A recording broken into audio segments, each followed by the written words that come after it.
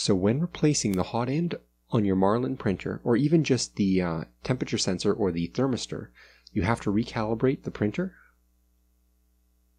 In this video, I'm going to be showing how I tuned my Marlin printer to work with a new thermistor. I mostly tried to follow this Tom's Guide video, but it is a bit hazy in some spots. The audio he was giving and the text on screen didn't exactly align. And so I also recommend going here and reading how to do things. Um, a lot of information. Anyways, uh, the long and short of it is, if you have Octoprint, just connect to your thing and go to a terminal, or you can use an application with USB and do the same. And then you use the code M303, and that apparently would just give you back a value, but isn't that great? So to tune it, um, you use S for, I guess, tune, and then you pick the temperature you're most often going to use. Um, so it'll be the most accurate at that temperature. And so in his video, he was saying ABS, and he typically uses uh, 230.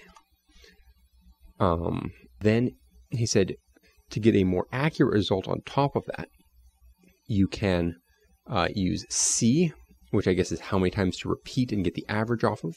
And then he said C10.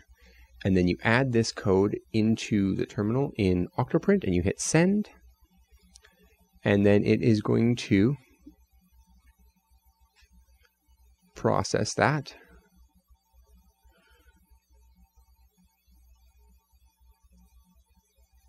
So now we just have to wait for it to get up to temperature.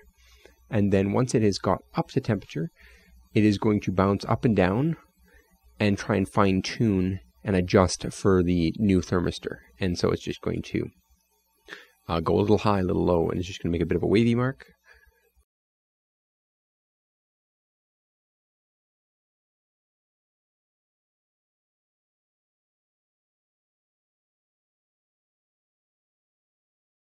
Now you'll notice um, when it started out, it started out very wavy, and as it tuned, it seemed to get more and more and more accurate.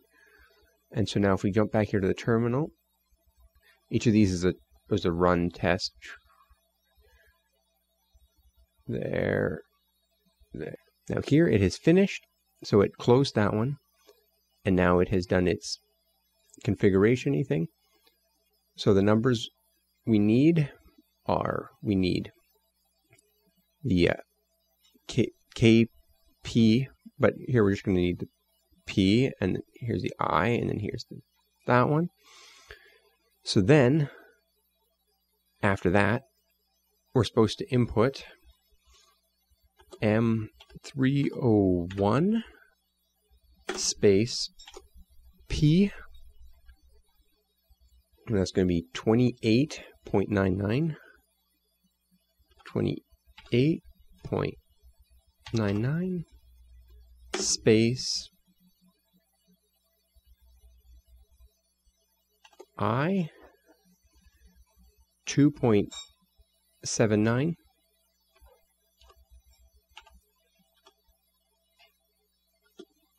and then D capital D after a space and that one's going to be 75.41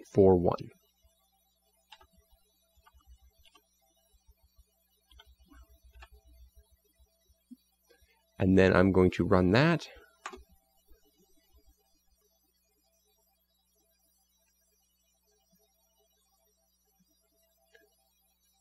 Then now that I've run it, it's going to, or it apparently